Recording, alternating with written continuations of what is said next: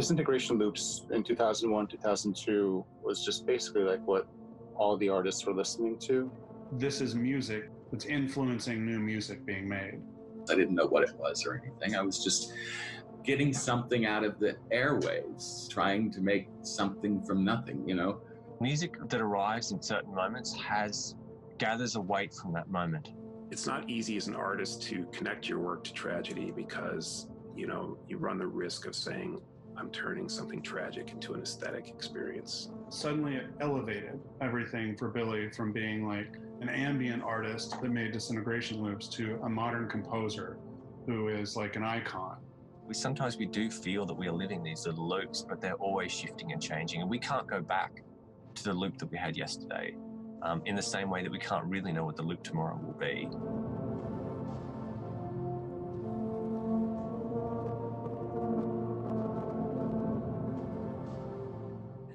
Uh, first off, David, uh, uh, uh congratulations on the short documentary. Really, really fun. I'm a fan of music. I'm a fan of scores as a whole. So I think I think you know that that's the first thing that struck with me.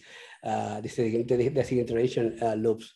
Um, I think the first question has to be, what caught your eye about you know this you know, about William's story that you you you felt that you needed to expand on it and you wanted to you know that, that you know motivate you into working on this project. Well, I think um, you know it, it, was it became such an elegy to 9/11, the piece that I saw similarities between 9/11 and COVID when it started, especially being born and raised in Manhattan. Um, you know, there was just that certain eeriness to it all. So it immediately reminded me uh, of that time 20 years ago, and I knew we were approaching the 20 year anniversary. So mm-hmm. it seemed it seemed poignant and, and cyclical, and it kind of seemed to make sense. And and sure enough, the the day that I woke up uh, when the pandemic like truly kind of started for me at least uh, when i had returned to the city uh, pitchfork uh, had just reviewed some new music for williams so it just it was meant to be um, um, what what is it about the, the, the integration loops that's resonated so much with uh, 9/11. In your opinion, in your personal opinion, after doing obviously the, the documentary, what what what what did you think about what, what is about the this you know this composition that, that resonated so so much with the with the event?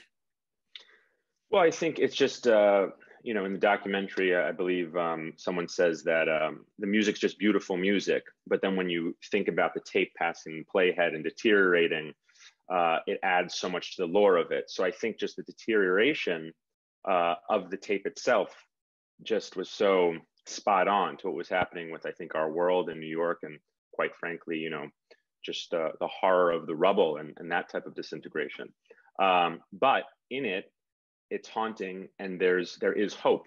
So I think it's haunting music and it's eerie music, but it's also hopeful music. And I think that we look to art in times of, of struggle and despair and, and horror and we want to be motivated to mm-hmm. to get better you know to, to help heal each other. So i think that's that's the importance of, of williams music to me. I'm, I'm a fan of music as, as a whole. That's you know that's it is. I think and one of the things that i enjoyed the most about the documentary was was you know listening back to the, the, the racial love i think and then thinking that something there's a topic that you mentioned in the documentary I think it goes beyond just you know being tied to 9/11. I think it's just something that you can listen to it in any situation. It's just you can just relax to it and just put it on the background and just do your day-to-day chores and stuff like that. Um, did, did, did William, or, or I'm, I'm asking this because I don't know if, if um, I didn't really see this being going to depth. Did, did William felt any backlash when you know when people you know starting relation doing a relationship within the the the, the 9/11 and you just said the the whole concept of the melody. I don't think he experienced any backlash because i don't think it was his intent. I think mm-hmm. it was uh, you know he was finishing it around that time or, or right before that time. I think people or, or lovers of music or, or, or, or billy's work started to make those parallels. So I think William was really respectful of that. Um, I think he did wind up, uh, um, you know, mentioning that it was for the people who had gone through 9/11 or had lost people, or for the victims, because uh, because he couldn't he couldn't remove himself from that. again, the lore and the the storytelling of it kind of became all consuming. And of course, he used as the album covers the smoke from that night.